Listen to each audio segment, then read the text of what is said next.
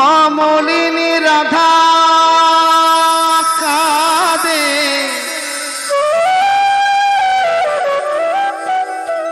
কমলিনী রাধা কাদে।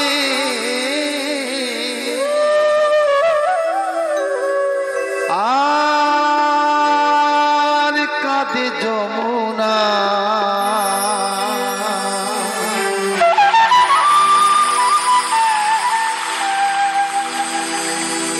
কৃষ্ণ বলে।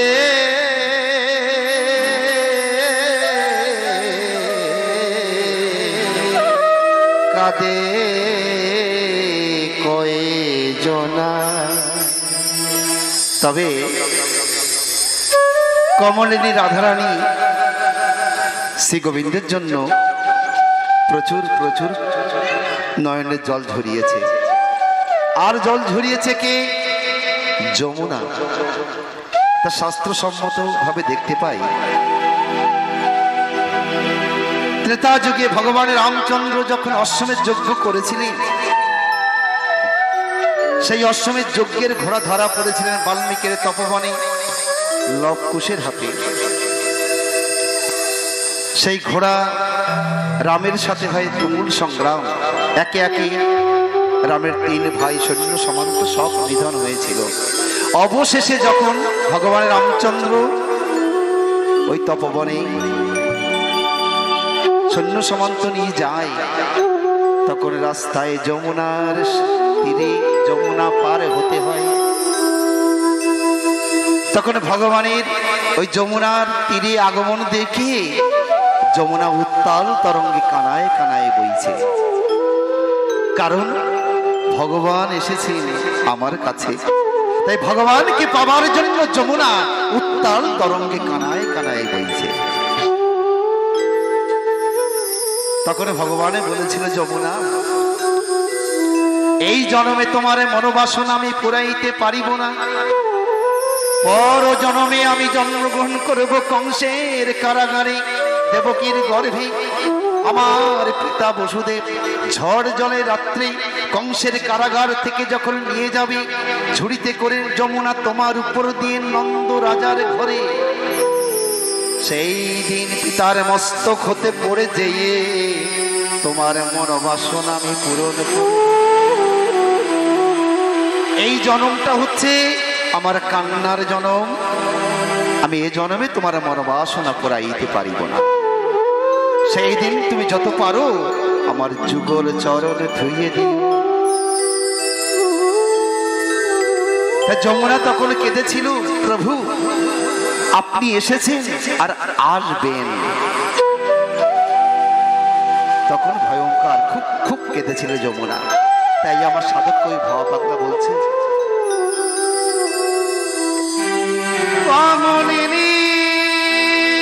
রাধা কাঁদে আর কাঁদে যমুনা।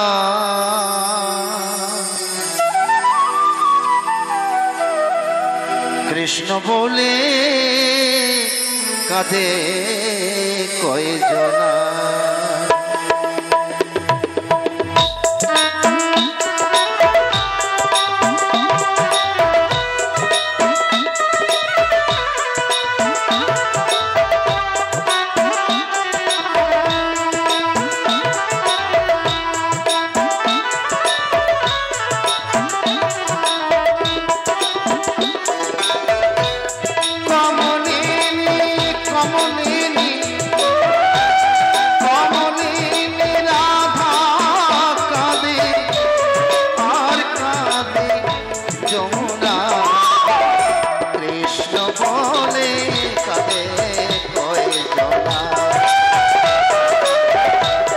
Krishna.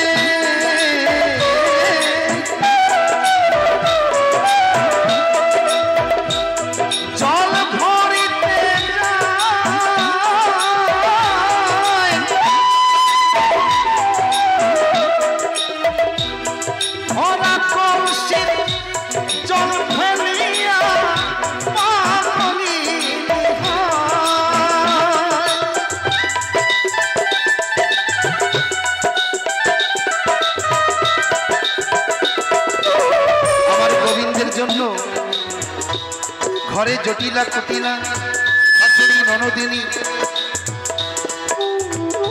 গোবিন্দ দর্শনের জন্য ভরা কলসির জল ফেলে দিয়ে জল খালি করে যমুনা। রাধা যখন যমুনা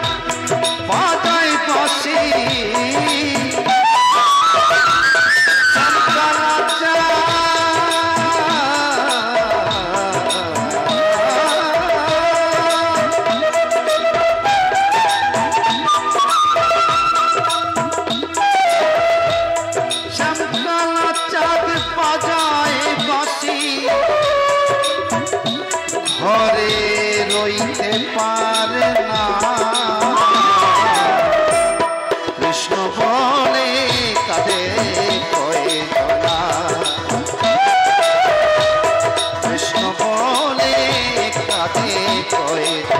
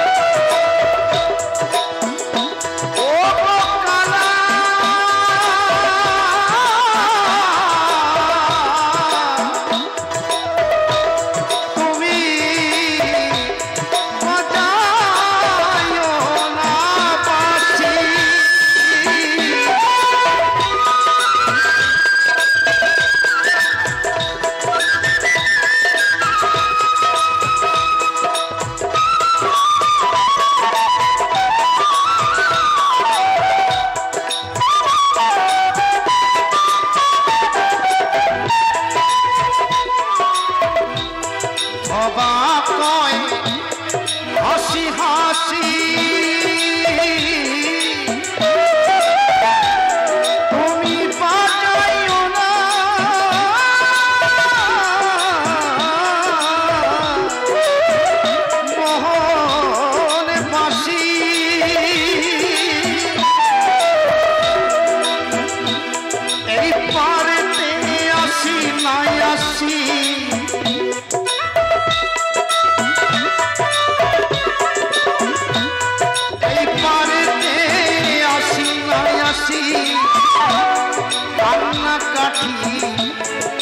से छानना